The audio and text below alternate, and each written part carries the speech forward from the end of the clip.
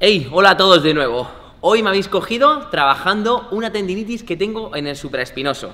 Así que vamos a aprovechar este momento y os voy a explicar cómo quitar esa ligera molestia que es tan común y que casi todo el mundo la tenemos. Así que, acompañadme.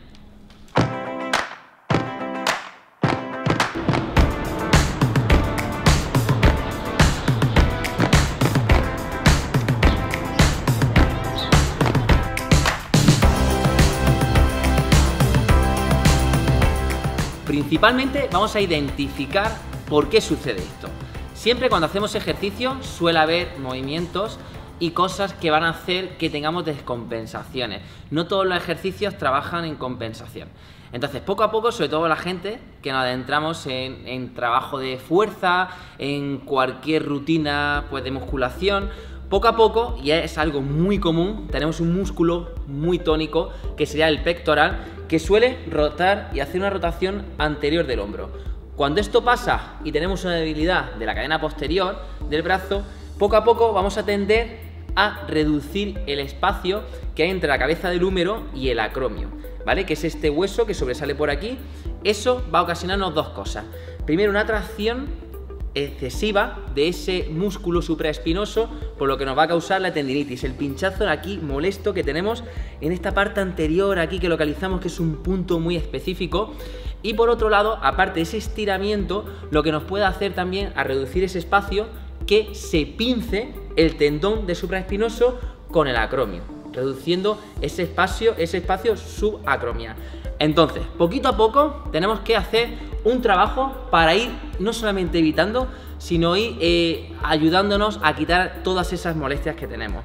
Una vez entendido lo que ya he comentado un poco, que tengo aquí dibujado, para que lo entendáis un poco mejor, ese desequilibrio, que sería, en este caso, este que tenemos aquí, el pectoral, voy a escribirlo, ¿vale?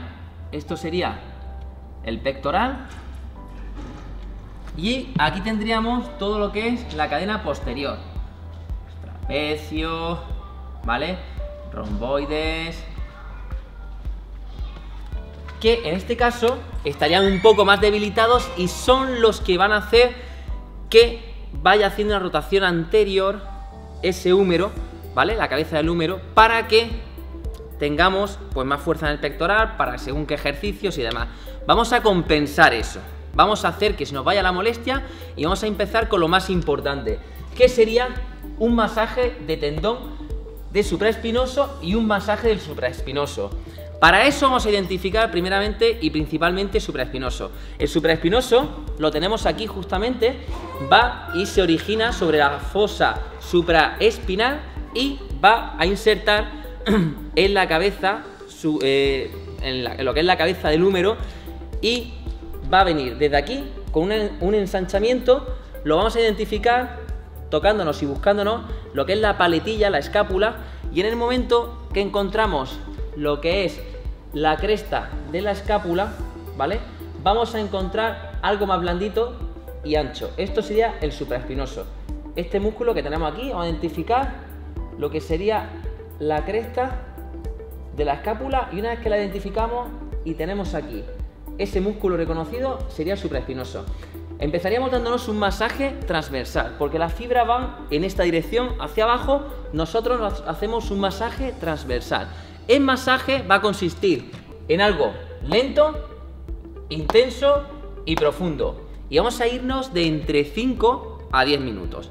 Entonces, lo localizamos, ¿dónde está esa espina? Aquí la tengo yo en mi caso, ¿vale? La espina de la escápula. Y una vez que tengo la espina de la escápula localizada, aquí está, me meto aquí un poco más, encima y encuentro ese músculo supraespinoso. Empezaría masajeando. Intenso. 5 o 10 minutos, yo voy un poco más rápido para que el vídeo no se haga lento. Y después iríamos a buscar la inserción, ¿vale?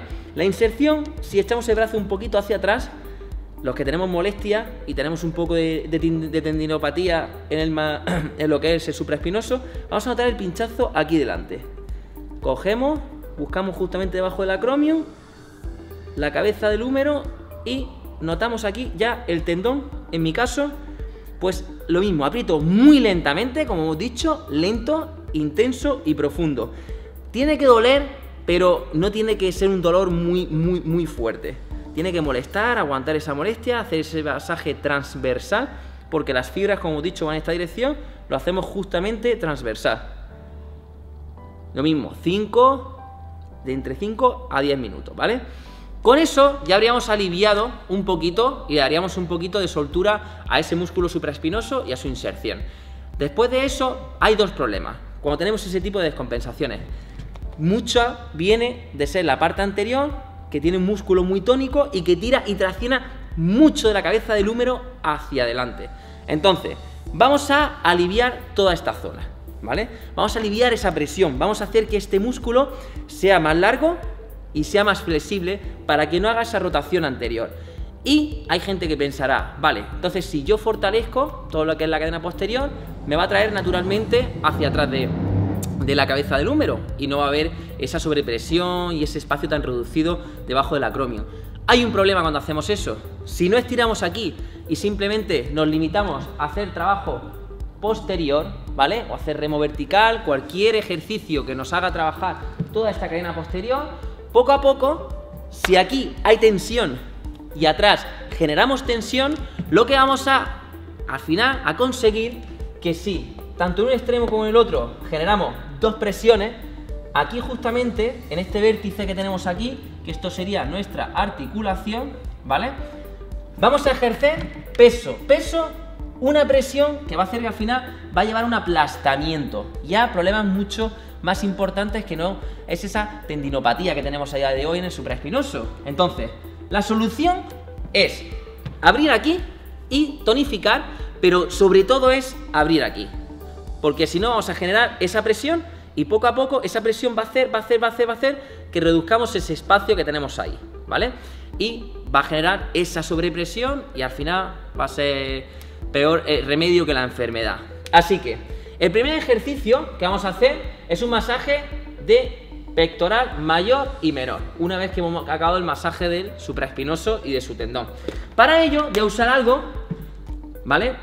Esto es una bola para hacer automasajes. Esta bola, lo mismo, se la he adquirido y eh, es de la misma marca que los Roller Phone que suelo usar yo.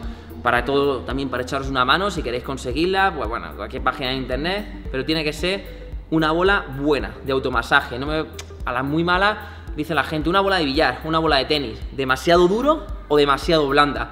Estos son terapéuticos y están estudiados para que ejerza la presión y el material está eh, estudiado para que no resbale, ¿vale? Entonces, vamos a hacer un masaje por todas las inserciones de clavícula, todas las inserciones de externo, trabajando pectoral menor y pectoral mayor, ¿vale?